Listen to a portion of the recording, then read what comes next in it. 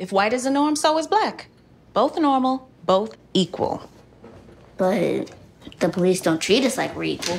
Welcome to Ms. Mojo, and today we're counting down our picks for the top 10 historically accurate kids' movies. My life has taught me one lesson, Hugo, and not the one I thought it would. For this list, we're looking at the most informative and truthful live action movies aimed at a younger audience. Since some of these true to life moments are big plot points in their respective films, consider this your spoiler warning. Which of these family movies inspired you to deep dive into history? Let us know in the comments. Number 10 Miracle. The opening news clip montage helps place this movie in history. The office of President of the United States. Billy beer hit the shelves this week. The White House has declined to comment on the latest business venture of President Carter's brother. It's the 1980 Olympics. Since it's the height of the Cold War, the U.S. hockey team is extremely determined to beat the Soviet team. For dramatic purposes, the film adds tension between the team members, but it also included true events and dialogue that shaped the team and its goals. A chance for one night, not only to dream, but a chance once again to believe. While the scene where players practiced sprints after the rink lights were turned off seemed over the top, it happened. Coach Brooks's inspiring speech and the commentary of the game were also pulled right from real events. Tonight, we stay with them. And we shut them down because we can't. These real moments helped create an inspiring film that shines a light on the motivations behind this historical victory. Number 9. An American Girl Story. Melody 1963. Love Has to Win. While the main character of this movie didn't exist, the incidents in her hometown accurately depicted struggles faced by black people at the time. Why don't you just go back to Africa? Do you hear what I said? If you don't like America, go back to your own stupid country. The story focuses on a young black girl named Melody Ellison facing discrimination during the height of the civil rights movement. Early in the film, stories of protest and violence are heard on the radio. There were reports of police repeatedly clubbing some demonstrators and throwing one woman onto the concrete. Frank, please. One man could be seen bleeding from his skull. That leads to important discussions around equality, language, and justice. One of the key moments in the film was the 16th Street Baptist Church bombing in Birmingham, Alabama. The actual event isn't shown. However, it does affect Melody and makes her process what it means in her life. Since the time period and events are treated with respect, it's a hugely informative watch for young audiences. The school in our neighborhood doesn't even have enough books for all the students. There aren't even enough desks to go around. It's not a place where you can learn. What I'm learning at my school is that people hate me because of the color of my skin. Number 8, 42. During this inspirational film, we see how Jackie Robinson broke the color barrier in Major League Baseball. Give me something. Give me something I can hit. You want it? What are you afraid of? As with many biographies, some specific moments were altered to add drama, but many of the difficulties Robinson faced on the field were represented. These included getting hit with balls, sliced by cleats, and insulted by opposing teams. Moments captured in famous photos were also incorporated into the film. A picture of Robinson standing with his white teammate Pee Wee Reese was translated perfectly into the film. What are you thanking me for? I got family up there from Louisville. I need them to know. In order to reduce tensions between the Phillies and the Dodgers, Robinson also had to pose with coach Ben Chapman. It certainly helped that Jackie Robinson's wife Rachel Robinson was involved in production. She ultimately raised its authenticity and power. It takes a team. Joining together was a start. Staying together a big step forward. But working together is how you win. Number 7. A League of Their Own. Although the characters in this sports movie are fictional, the Rockford Peaches were a real team. The plot itself is also a fairly accurate reflection of how the All American Girls Professional Baseball League came to be. They find them everywhere north, east, south, and west, and even Canada. Players for the new All American Girls Baseball League.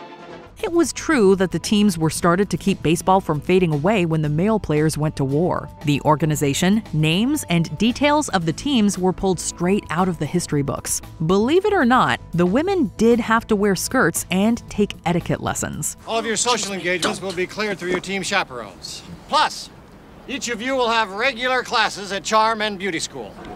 For what? Every girl in this league is going to be a lady. Like in the film, the Women's Baseball League didn't last when men returned to the field. However, with humor and heart, a league of their own effectively captures the beginning of women's sports in the U.S. It's a pleasure to welcome you here today.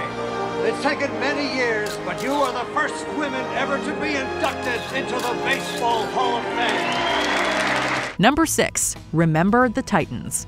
This film was inspired by the true story of a racially integrated high school football team in 1971. I don't care if you're black, green, blue, white, or orange. I want all of my defensive players on this side, all players going out for offense over here, right now. Let's move. Let's move. Let's move. Let's move. It primarily focuses on a black coach, Herman Boone. Not only was he expected to keep winning, but he had to bring an integrated team together in a time of heavy prejudice. Admittedly, the timing of when games occurred was altered to heighten the drama, but the team's victorious journey to the state championships is well represented overall. I know football.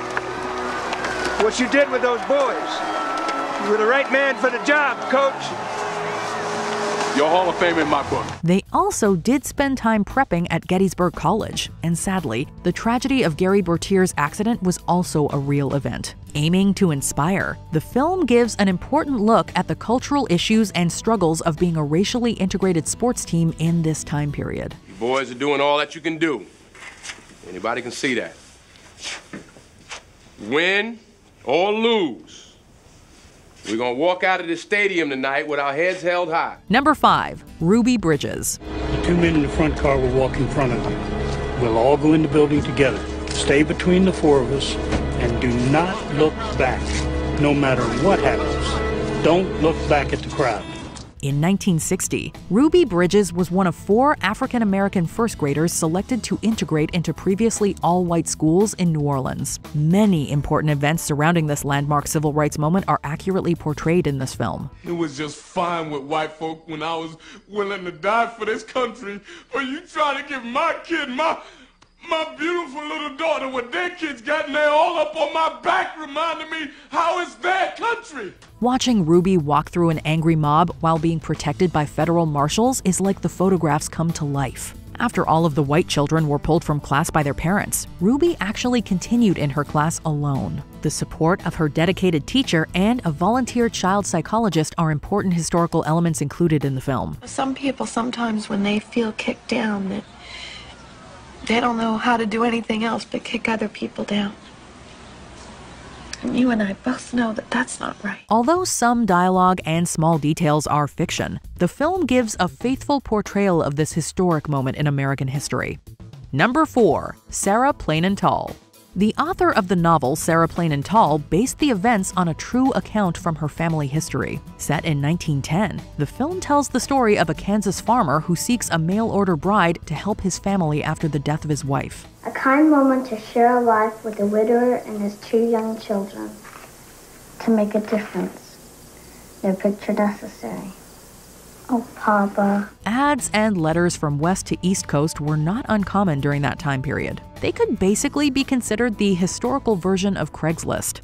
I will come by train. I will wear a yellow bonnet. I will stay for one month to see if I can make a difference.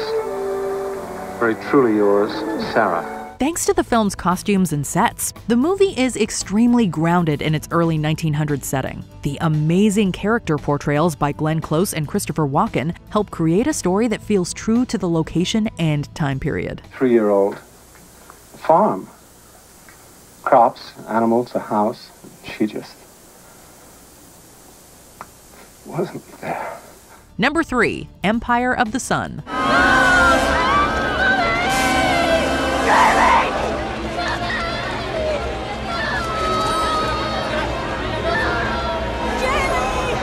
This story of a British child alone in a Japanese internment camp is fictional. However, it is based on the real life experiences of author J.G. Ballard. He and his family spent time in the Shanghai International Settlement during the Japanese occupation. Great pains were taken to portray the time period as accurately as possible.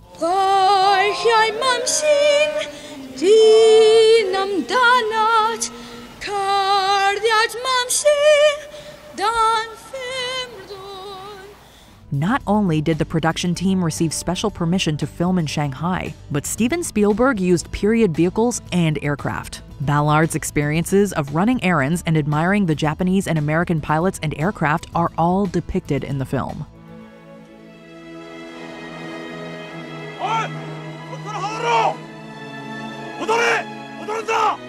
Number 2. Hugo.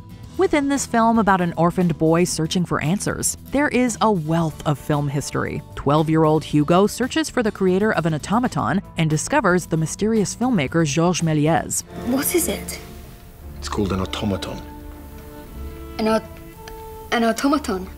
I found him abandoned in the attic at the museum. In addition, Méliès was also a toy maker, magician, and fan of automatons. Portions of his real works are shown as a part of Hugo's journey. Due to bankruptcy, many of Méliès's films were sold and melted down for the chemicals. I was forced to sell my movies to a company that melted them down into chemicals. These chemicals were used to make shoe heels. The movie is not solely about this character, but viewers will definitely learn some fascinating facts about early special effects and one of film's trailblazing artists. My life has taught me one lesson, Hugo, and not the one I thought it would. Happy endings only happen in the movies.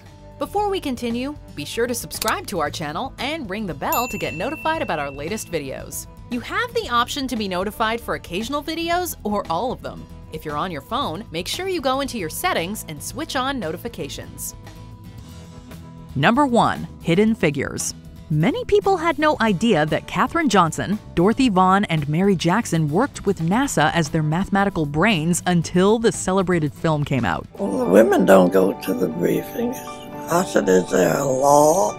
Mm, let it go. So I went to all the meetings that the men had. In this story, viewers learn how three black women became instrumental in John Glenn's historic launch into orbit. Incidents like having to walk great distances to use a segregated restroom were based on the real struggles of these trailblazing women. Their tenacity against prejudice is also highlighted. Pentagon briefings are not for civilians. It requires the highest clearance. I feel like I'm the best person to present my not gonna calculations. let this go, are you? No, I am not. And, and she is a woman. There is no protocol for a woman Okay, attending I these get that part, Paul. Plot lines such as Mary Jackson pursuing permission to attend graduate courses at a white high school in order to become an engineer are indeed based in reality. At its core, Hidden Figures truly highlights the real and remarkable deeds of these extraordinary women. The Russians certainly are slowing down. And You know, they can't build a damn refrigerator. How the heck they beat us into space? what do you ladies do for NASA? calculate your trajectories, launch and landing. Well, you can't get anywhere without the numbers. No, sir. Do you agree with our picks? Check out this other recent clip from Ms. Mojo. And be sure to subscribe and ring the bell to be notified about our latest videos.